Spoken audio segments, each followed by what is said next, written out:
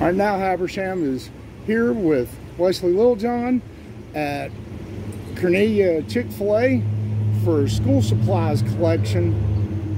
Wesley, can you tell us about the SROs and uh, what they're doing as far as the school supply collection here at Chick-fil-A today? Yes, sir. We've been out here last Friday. We'll be here today until 1 p.m.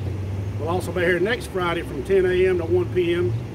collecting school supplies, uh, anything that you can bring, uh, notebooks, pencils, paper, rulers. And if you drop something off, you'll get a Chick-fil-A card, one per person if you drop something off, to use at our local Chick-fil-A that's been so generous to let us use their parking lot to collect school supplies. Do you have any drop-off points other than here uh, in the county? Yes, sir, we do. We got one at the Aquatic Center, the admin building, the senior center, and I think the sheriff's office has got to drop off one. Okay.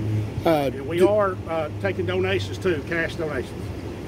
what's your goal as far as supplying the students uh, of Habersham County with school supplies? Last year we done 600 students.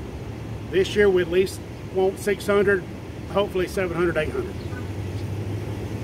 All right, and you all will be doing this again next Friday from 10 to 1 at this location. Yes, sir. We'll be right here in the same spot. Okay. All right. Thank you very much. Yes, sir. It's my pleasure.